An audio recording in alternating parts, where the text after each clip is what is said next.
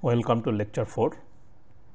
Here onwards, I will give emphasis on the strategies of refractory composition design.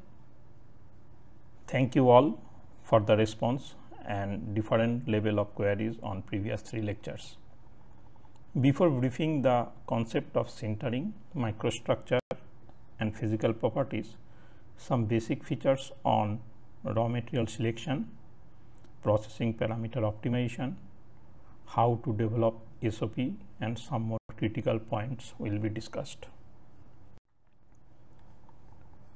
We can start with magnesia carbon refractory for BOF.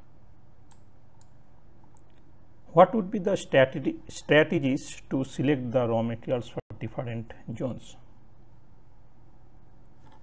One can visit site, discuss and understand the application zone of refractories and steel making operational features. These are eight zones and demands different grade of magnesia carbon refractories and it depends on operational features like capacity, lining detail, preheating schedule, input composition, tapping temperature, lancing detail, slag conditioning, slag chemistry, steel chemistry, leftover thickness scanner facilities, yes or no, data collection schedule for machine learning, life, hits, etc. Point 2 collect the design and drawing of entire vessel and refractories from user end. Number 3 select the raw materials with details chemical analysis, physical properties and XRD to complete users demands through discussion with refractory production team, R&D and quality control team. Herein we can see different grade magnesia starting from DBM to FM and LCFM that is large crystal fused magnesia are required and composition can be optimized according to user demand. Fourth, sometimes surface area measurement BET is required to predict the high temperature reactivity. Here on site is refractory unit. It is being done in kiln and in situ that steel processing vessel. Other characterization of raw materials are also required for example viscosity and volatile content for resin etc use simple arithmetic to fix the batch composition in target of the desired properties. In the perspective of application importance and economic viability, composition need to be fixed followed by grading. Recycled material may be the another choice, but it may change the refractory performance. Thus, exhaustive lab trial is required to finalize the composition. An extensive understanding on high temperature corrosion behavior and other relevant properties may facilitate to pick up the right composition. Discuss with production department to finalize the SOP for the refractory manufacturing protocols. How one can develop different alumina content refractories from available raw materials and facilitates to meet the specifications. To answer that, we have to follow certain steps. First, check the chemical composition of bricks.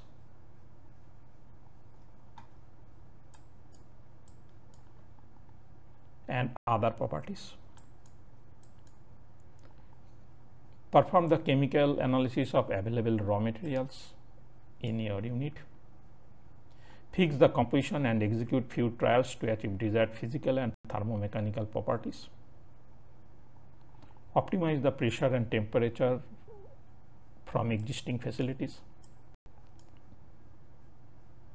Here we can see high silica and alkali content facilitates LPS that is liquid phase sintering and more deformation at low temperature compared to that high alumina content refractories and thus low RUL.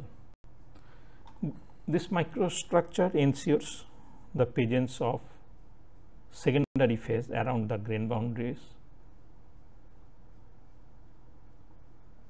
and easy slippage may happen under load. Thus, synchronization of secondary phase through control over impurities are important.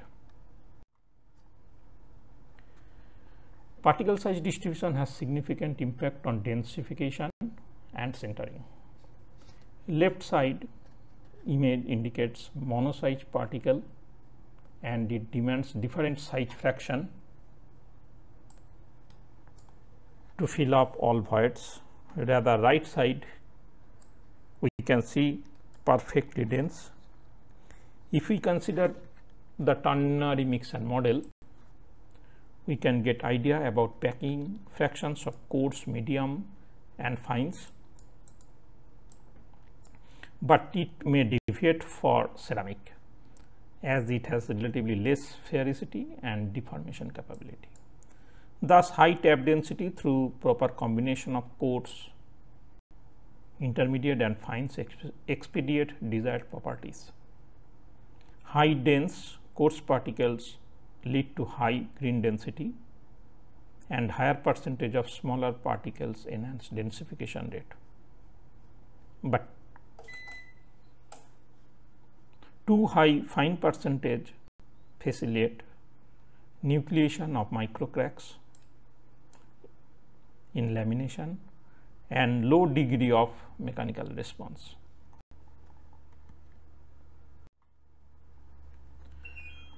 While composition and grading optimized, we have to concentration we have to concentrate on pressing load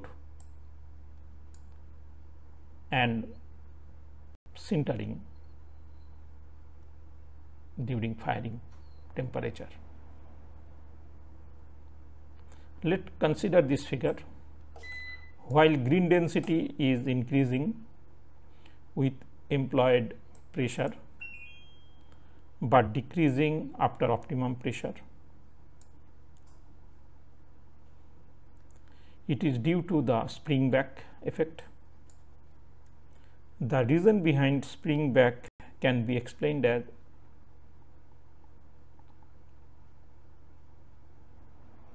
spring back will be higher for a higher pressing pressure and when using granules of low moisture content. A body containing more of plate like particles will generally exhibit more elastic spring back and relatively more axial spring back that is anisotropic behavior. During rapid press, the compressed air in pores can contribute a higher spring back. Pressure gradients can also cause differential spring back between regions in the brick. A larger apparent spring back will produce a larger stress in the brick lamination and low density. That means an optimum pressing load is required for particular dimension of brick. Followed by while firing is concerned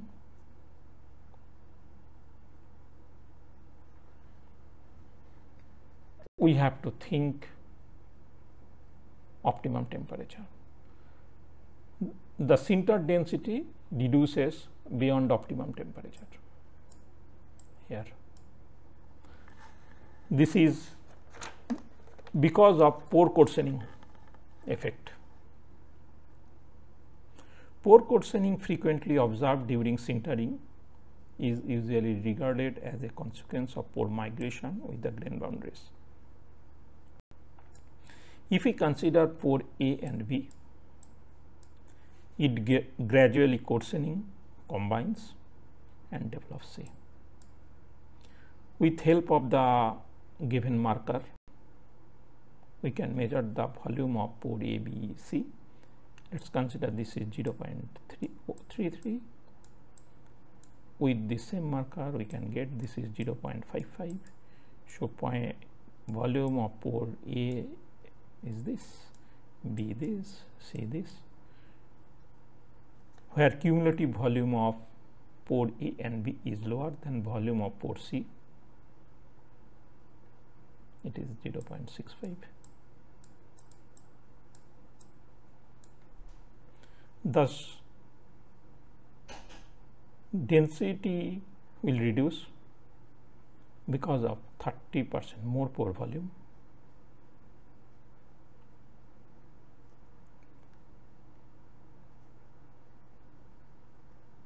Eventually, we can predict the sintering and expansion shrinkage behavior during firing through dilatometer.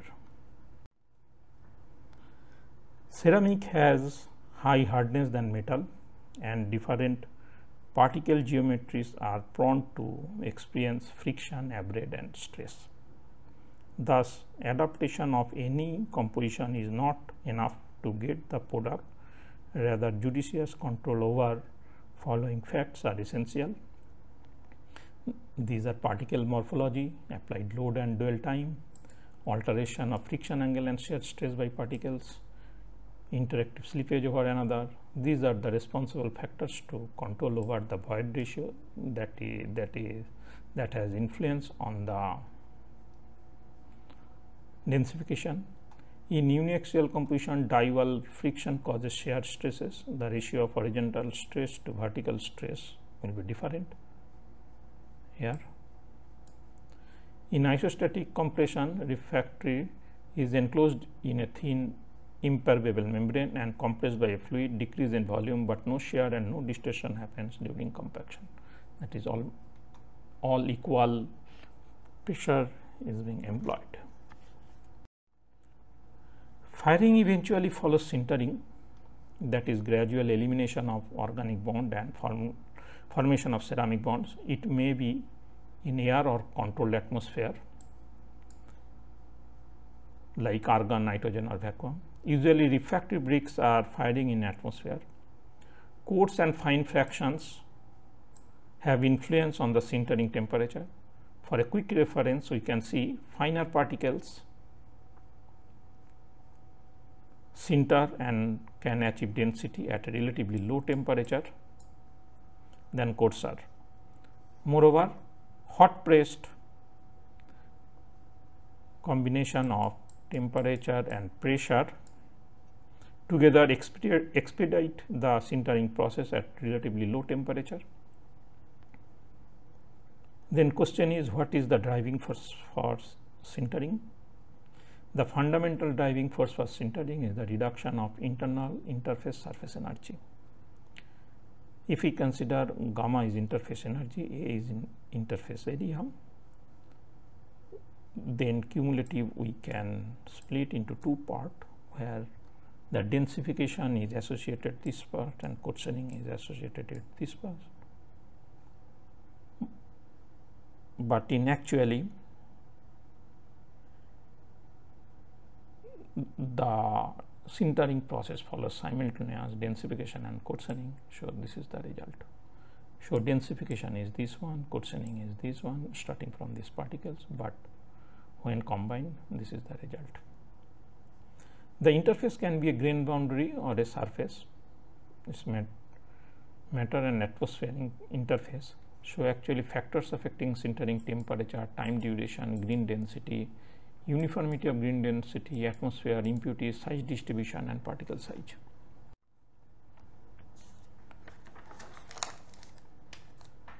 Let us consider two footpaths 1 and 2 made of stones. In left side we can see only stones, small voids and boundaries. In right side secondary phases along with rough surfaces of stones. While system has more impurities, secondary phases will be prominent. During solid state sintering, the process provide sintered mass through diffusion assisted mechanism that results of grains, grain boundary and pores or voids. Whereas LPS follows rearrangement, solution reprecipitation and densification. In obvious, low degree of thermomechanical response is observed in LPS, but it further depends on the type of phases present and can be confirmed by XRD. Rapid inspection of bulk density and apparent porosity assures the first stage quality control. The characterization should follow standard protocols we can measure AP, BD, true porosity and theoretical density the theoretical density is actual considered as true density and can be obtained from XRD data. Some representative equations, formulas and methods are described here. Refractive density or porosity may amend or alter at surface temperature and strictly depends on the composition. Precious dimension is very important and certain parameters need to be considered like mold material and machining, firing shrinkage expansion or other defects, final finishing if any, machining for specific defects like CCR, lining pattern in vessel etc. Here in few pictorial views have been represented where a perfect magnesia carbon brick can complete the working lining in which a definite backup lining made of LCC 70 has been installed. This is magnesia carbon, this is LCC 70. In slide gate system and ACN all should have perfect dimension to obtain hassle free steel production. We optimized the composition and process parameter through design of experiment in specific adaptation of response surface method. Herein we consider four input factors and five variables that is it was mandated to execute 5 to the power 4 that means 625 number of experiments just impossible task but we adapted RSM and successfully optimized the composition and process parameters to obtain lowest grain size and highest density of zirconia toughened alumina based hip replacement. Thank you. Thank you for your patience.